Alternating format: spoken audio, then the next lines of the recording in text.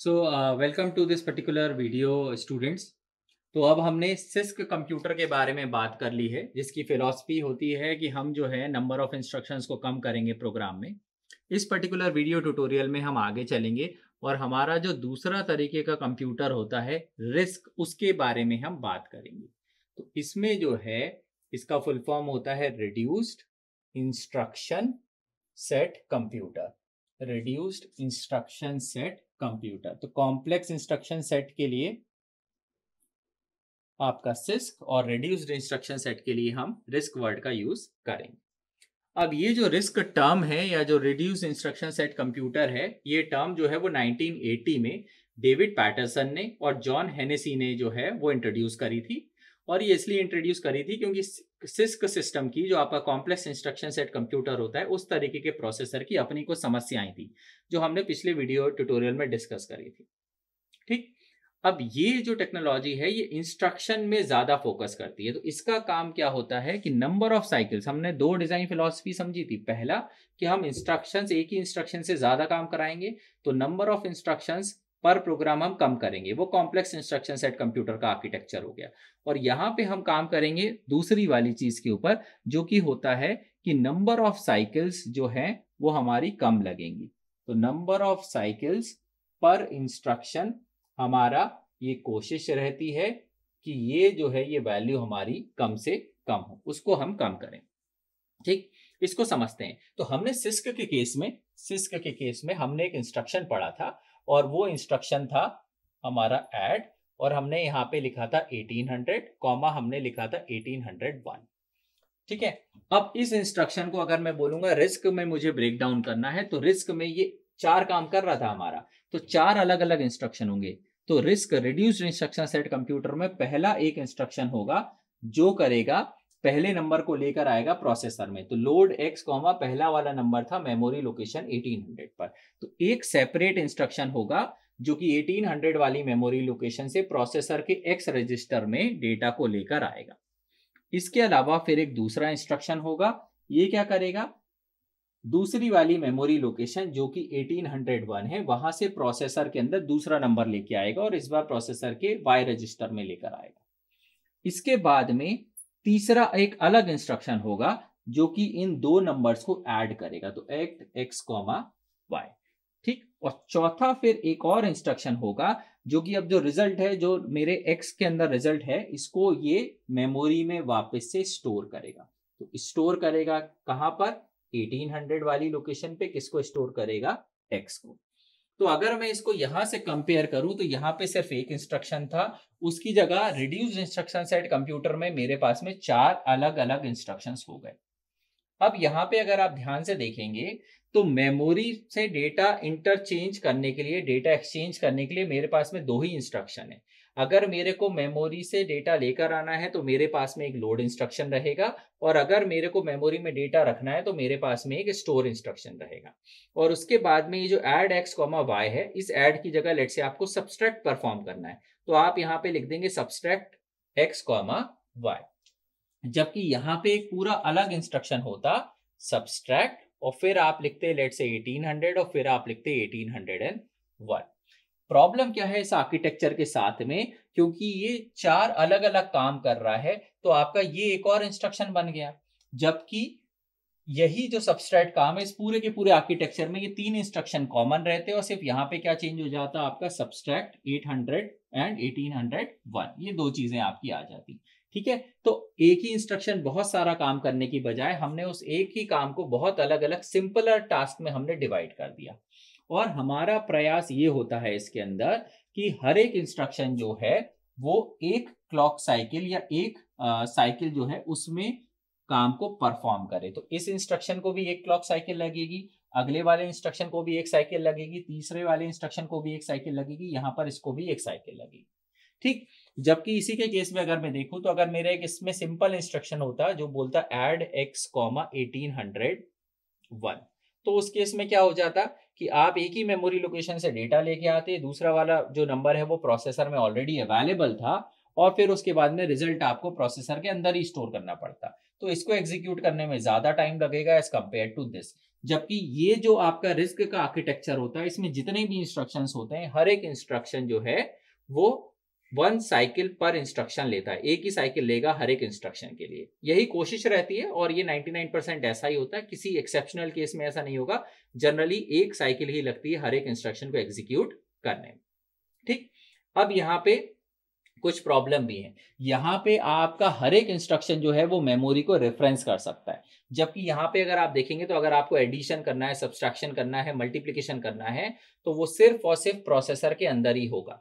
तो number memory से deal करने के लिए अलग इंस्ट्रक्शन हैं अर्थमेटिक ऑपरेशन परफॉर्म करने के लिए अलग इंस्ट्रक्शन हैं, और हर एक जो इंस्ट्रक्शन है वो मेमोरी को रेफरेंस नहीं कर सकता, जबकि यहाँ पे हर एक इंस्ट्रक्शन मेमोरी को रेफरेंस कर सकता है। तो इसके फ़ायदे नुकसान है। फ़ायदा यह है कि आपका इंस्ट्रक्शन जो है वो एक ही क्लॉक साइकिल में एग्जीक्यूट हो जाएगा। नुकसान ये है कि अब आपको ज़्यादा नंबर ऑफ़ इंस्ट्रक्शन लगेंगे। ठीक?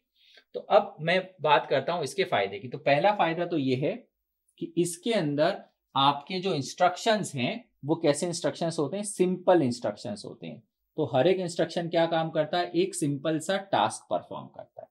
ठीक है? और क्योंकि जो टास्क है, वो सिंपल है, बहुत ही आसान है तो जो सर्किटरी लगेगी डिकोड करने की, वो डिकोडिंग यूनिट क्या हो जाती है मेरी? सिंपल हो जाती है। तो सिस्क कंप्यूटर में हमने लिखा था कॉम्प्लेक्स डिकोडिंग यूनिट यहाँ पे मैं क्या लिखूँगा? कि सिंपल डिकोडिंग यूनिट तो डिकोडिंग करना जो है, वो मेरे लिए यहाँ पर आसान है। ठीक है? अब क्योंकि आपके नंबर ऑफ़ इंस्ट्रक्शंस बढ़ गए तो इसमें जो है, वो ये जो कॉम्प्लेक्सिटी है, वो कंपाइलर पे ट्रांसफ़र हो जाती है। तो सॉफ्टवेयर एंड डिफ़िकल्ट हो जाता है क्योंकि ज़्यादा इंस्ट्रक्शंस होंगे। ठीक है? तो यहाँ पे मैं लिख सकता हूँ कि ज़्यादा वर्कलोड है फॉर माय कंपाइलर तो मैं लिख सकता हूँ more workload for my compiler for my compiler ठीक है? तो ज़्यादा वर्कलोड मेरे कंपाइलर के पास में है। ठीक? अब क्योंकि यहाँ पे जो सिंपल डिकोडिंग यूनिट है, हर एक यूनिट जो है लगभग एक जैसा काम करेगा। तो जो सबसे बड़ा एडवांटेज है, ये दो तो हो गए मेरे एडवांटेज ठीक है? और ये मेरा डिसएडवांटेज था। अब मैं एक और एडवांटेज लिख दे रहा हूँ। ठीक है? तो one more very big advantage we have वो है आपका कि पाइपलाइनिंग जो है, वो बहुत इजी हो जाएगी। पाइपलाइनिंग हमारी क्यों इजी हो जाएगी? क्योंकि हर एक इंस्ट्रक्शन जो है, पहले तो लगभग बराबर टाइम ही ले रहा है। हर एक इंस्ट्रक्शन एक ही क्लॉक साइकिल ले रहा है। और दूसरा, क्योंकि वो सिंपल है डिकोड करने में तो वो आसान है। प्रोसेसर एक मशीन बना देगा। एक ब्लॉक बना देगा जो कि मेमोरी को हैंडल करेगा। एक ब्लॉक बना देंगे हम हमारे प्रोसेसर में जो कि अर्थमेटिक ऑपरेशन परफॉर्म करेगा। एक ब्लॉक बना देंगे जो मेमोरी को डेटा जो है वापस रिटर्न करने में हेल्प करेगा। तो इस तरीके से जो पाइपलाइनिंग है, अब जो मेरा प्रोसेसर है, उसकी नंबर ऑफ़ स्टेजेस को बराबर टाइम एग्जीक्यूट करना ये भी पॉसिबल है कि हर एक स्टेज लगभग बराबर टाइम ही ले और दूसरा कि वो हर एक स्टेज स्पेसिफिकली क्या काम करेगी ये भी बहुत ही क्लियरली डिफाइंड है। तो इसीलिए आपका जो रिस्क कंप्यूटर है, वो हमारा पाइपलाइनिंग को बेहतर सपोर्ट करता है, उसमें पाइपलाइनिंग बहुत इजीली इंप्लीमेंट हो जाती है। अब अगर मैं दो मशीन्स को कंपेयर करूँ तो मेरे पास में एक रिस्क वाली मशीन है, मेरे पास में एक सिस्क वाली मशीन है। तो आपको ग्राफिक में दिख जाएगा, यहाँ पे मैंने लगा दिया है। तो यहाँ पे आपको दिखेगा कि रिस्क कंप्यूटर जो है, वो जो है एक ही क्लॉक साइकिल के अंदर इंस्ट्रक्शन को एग्जीक्यूट करता है रिड्यूस इंस्ट्रक्शन सेट कंप्यूटर जबकि कॉम्प्लेक्स इंस्ट्रक्शन सेट कंप्यूटर क्या करता है? Complex instruction set computer takes multiple cycles उसको ज़्यादा साइकिल्स लगेंगी एक इंस्ट्रक्शन को एग्जीक्यूट करने में, क्योंकि हर एक इंस्ट्रक्शन जो है वो बहुत सारा काम कर रहा है। यहाँ पे अगर मेरे को मेमोरी को रेफरेंस करना है तो सिर्फ़ दो ही इंस्ट्रक्शन रहेंगे load and store So only load and store memory references available here in the RISC computer set जबकि कॉम्प्लेक्स इंस्ट्रक्शन सेट कंप्यूटर में क्या होता है? कोई भी instruction any instruction can reference the memory यहाँ पे पाइपलाइनिंग बहुत आसान होती है तो मैं लिख सकता हूँ हैविली पाइपलाइन यहाँ पे जो सिस्क कंप्यूटर है, यहाँ पे पाइपलाइनिंग डिफ़िकल्ट होती है। तो या तो पाइपलाइनिंग बिल्कुल होती ही नहीं है, या फिर लेस पाइपलाइन आर्किटेक्चर होता है सिस्क कंप्यूटर के अंदर। यहाँ पे आपको बहुत सारे रजिस्टर्स की आवश्यकता पड़ेगी तो जो रिस्क कंप्यूटर होता है, उसमें मल्टीपल रजिस्टर सेट्स आपके होते हैं। जबकि सिस्क के अंदर, क्योंकि बहुत सारा काम से मेमोरी से ही हो जा रहा है तो नंबर ऑफ़ रजिस्टर सेट आपको जो है कम लगेंगे। तो सिंगल रजिस्टर सेट एक ही रजिस्टर सेट होता है। एक रजिस्टर सेट का मतलब ये नहीं है कि एक ही रजिस्टर है। रजिस्टर्स होंगे, लेकिन एक तरीके का एक ही सेट होगा। यहाँ पे हमने बात करी थी कि जो कॉम्प्लेक्सिटी है वो किसके लिए बढ़ जाती है? रिड्यूस इंस्ट्रक्शन सेट कंप्यूटर में वो कंपाइलर पर कॉम्प्लेक्सिटी आ जाती है। सिस्क पे हमने बात करी थी कि जो कॉम्प्लेक्सिटी है वो किस पे चली जाती है? कॉम्प्लेक्सिटी चल जाती है आपकी डिकोडिंग यूनिट पे या माइक्रो प्रोग्रामिंग यूनिट पे। तो complexity here at CISC is with the micro programming ठीक है? यहाँ पे जो इंस्ट्रक्शंस हैं, वो हार्डवेयर सीधा सीधा आपका जो प्रोसेसर है उसको एग्जीक्यूट करता है। जबकि सिस्क के अंदर एक माइक्रो प्रोग्रामिंग यूनिट और होती है, जो कि इस कॉम्प्लेक्स टास्क को पहले अपने अंदर ही डिकोड करती है, अंदर ही समझती है और उसको माइक्रो इंस्ट्रक्शंस में कन्वर्ट करती है। तो यहाँ पे कॉम्प्लेक्सिटी अब आपकी ज़्यादा है तो इंस्ट्रक्शंस पहले माइक्रो प्रोग्रामिंग से आपके इंटरप्रेट होते हैं और फिर आपके एग्जीक्यूट होते हैं। यहाँ पे जो इंस्ट्रक्शंस हैं, उनका साइज़ मोरलेस एक ही बराबर होता है तो फिक्स्ड फॉर्मेट इंस्ट्रक्शंस होते हैं। सबका एग्जैक्टली exactly एक बराबर तो नहीं होगा लेकिन कोशिश यही रहती है कि ज़्यादातर इंस्ट्रक्शन का साइज़ जो है वो एक बराबर हो।